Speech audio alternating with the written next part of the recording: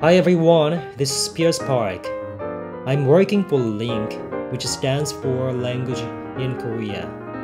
There's a link to our website down below, you can check it out. Link was established in 2012 by two linkers, Jin and Pierce. With this simple idea, we link the value. As its name says, we provide valuable information about accommodation, good tourist spots for your convenience. We are also working on other projects. You can check them out on our website. We'll help you make your stay here in Korea such a wonderful experience. For more details, visit our website and also feel free to leave any comments or questions. This information is brought to you by Link. Thank you for watching.